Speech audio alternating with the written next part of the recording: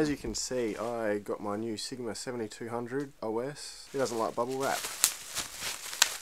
Anyway, um, I'm going to be doing a few a review on it in a few weeks.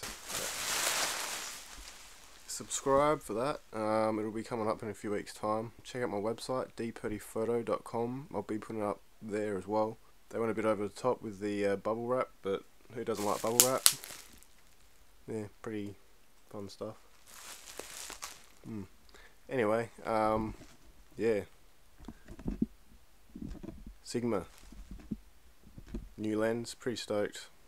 As for the bubble wrap, I'll be sleeping in that tonight. See ya.